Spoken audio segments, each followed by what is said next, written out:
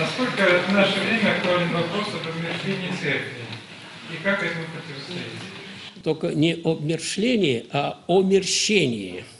Обмерщение. Да, а то еще обмершление. Мы живы. Вы что? Да. Этот вопрос, я вам скажу, мы говорим сейчас, я всю историю. Это проблема всей истории. Всегда, всегда этот процесс, процесс присутствует. Что значит в церкви, только хочу сказать. Не смешивайте. Когда задают этот вопрос, то иногда могут просто не понимать, о чем спрашивают.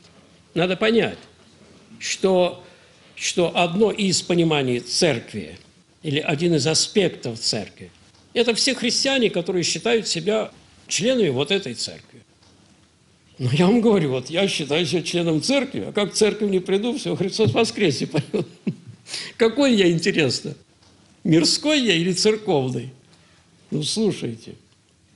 Вот оно в чем дело-то оказывается.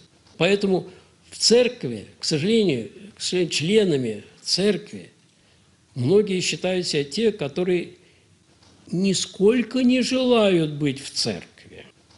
То есть жить по-христиански. Нисколько не думают даже об этом. И эти люди часто могут занимать значительные места в церкви. Я только что вам сейчас процитировал, что они могут быть и докторами, и профессорами богословия. Слышите?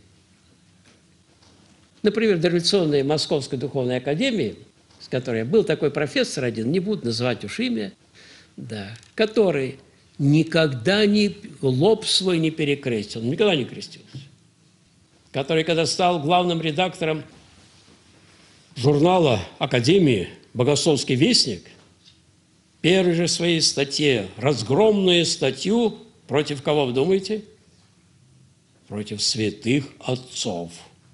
Профессор богословия, учтите, не кто-нибудь. Причем талантливый человек, очень талантливый, очень многознающий человек против святых отцов.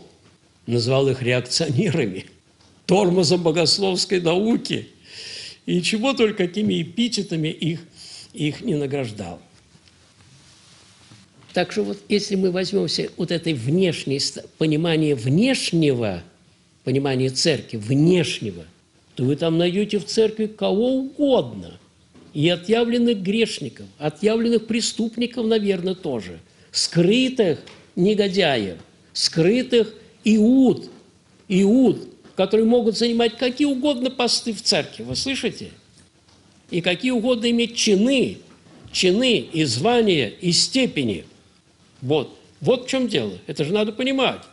И отсюда, занимая такое положение, они, соответственно, имеют большое влияние на направление вот этой внешней церковной жизни. Слышите? Внешней.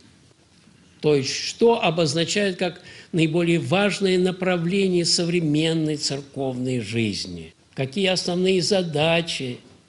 Если вы посмотрите на это, то увидите, насколько редка является, например, или даже вообще нет такой темы, каковы основные, основные законы духовной жизни. Вы когда встречали когда-нибудь эту тему? Какие основные законы духовной? Какие основные принципы духовной жизни? Что является самым главным? Вы не представляете, что творится. Запад абсолютно потерял эту духовную тематику. Вы слышите? Совсем потерял. Вот, вот я говорю, вот, ну возьмите хотя бы журнал Московской Патриархии и посмотрите вот э, эти все конференции, тематику, только тематику возьмите, посмотрите, экуменических конференций, всемирных, ассамблей вы руки опустите просто. А если вы коснетесь докладов, то все, вы тут же, простите меня, скиснете совсем. Одна только, одни только внешние, внешние проблемы. Там нет проблем духовной жизни. Хочу еще раз вам, простите меня, напомнить. Христос основал свою церковь с одной только и единственной целью. Слышите? Одна только цель – это, это исцеление человека. Духовное исцеление человека. Даже не борьба с пьянством и наркоманией. Этим занимаются все институты гражданские и мирские. Даже не это. Даже не сама по себе нравственность, потому что нравственность – это нечто грубое, внешнее. Ну, что такое? Я нравственный, например, человек. Попробуй меня кто сказать. Я никого не убил, никого не ограбил, закон не нарушал, семье верен. Так, ну-ка. Слышите? Ну, поняли, что я святой? Пора понять бы уж, наверное. Говорю, говорю, и все без толку. А на самом деле, что там кроется за этой одежонкой нравственной? Ну-ка, что там? Ой, никому не скажу. Никому не покажу. Никому не покажу, что там и алчность, и зависть, и тщеславие, и гордыня, и чего только там нет за этой нравственностью. Вы слышите, что нет только – Христос основал церковь с одной единственной целью, повторяю, исцеление души человеческой. Теперь посмотрите на проблематику всех христианских конференций. Я говорю конференции. Посмотрите на них, где собирается много. Вы ни одной не найдете, где бы этим занимались. Я постоянно привожу одну конференцию, которую называл всемирное, которое называлось «Спасение сегодня». Всемирная христианская конференция «Спасение сегодня». И вы знаете что? Когда приехали оттуда наши представители, они, как нам рассказали,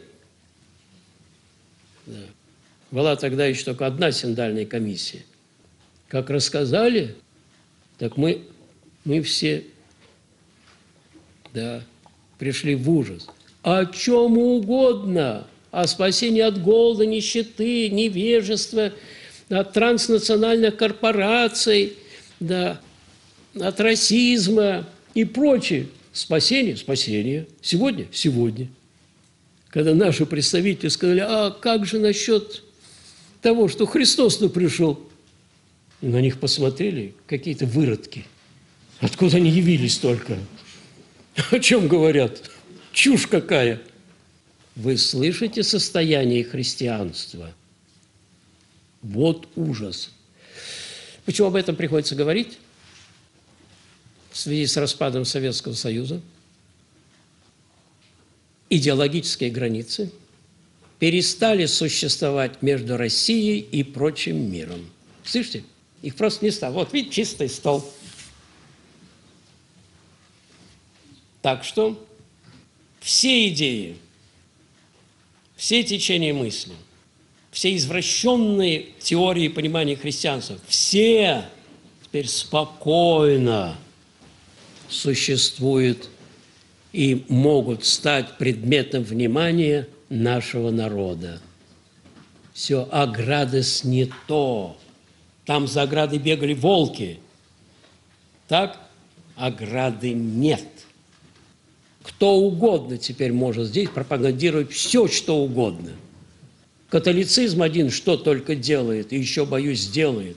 Не дай бог, если папа приедет к нам. Это будет такой удар по нашей церкви, по нашему народу, которого, я бы сказал, давно не было. Почему удар, скажете? А потому, что его, как правило, эти визиты папы сопровождают оглушительной рекламой. Сотни агентств, если не тысячи, всех агентств, телевидение, радио, газеты, журналы, все что угодно. Это будет канонада невероятнейшая. Это по всем средствам массовой информации. И наши бедные люди, которые многие даже не знают, чем отличается католичество от православия, скажут только папа, скажут, о, вот здорово, надо же это, а что еще нужно? А какая разница? Какая разница? Я вам показал только одну Терезу маленькую, да большую, а потом узнаете, да, проповедь такого лжеучения, А то думает от филиоквы. Нашли же на что обращать внимание. Папство, филиоквы. Да это фу по сравнению, это, это важно, но по сравнению, я говорю, с той дикой прелестью, в которую может впасть христианин, который станет на этот путь, путь, да, христианской жизни. Это ужасно. Вот, оказывается, перед чем мы стоим. Вот это надо понимать.